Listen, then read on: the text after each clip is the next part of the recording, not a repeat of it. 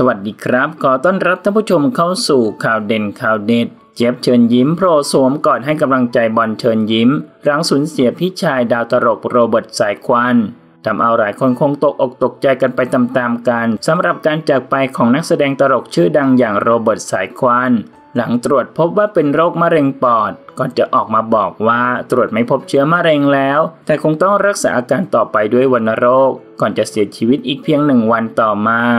โดยภายในงานต่างก็มีเพื่อนพี่น้องร่วมวงการบันเทิง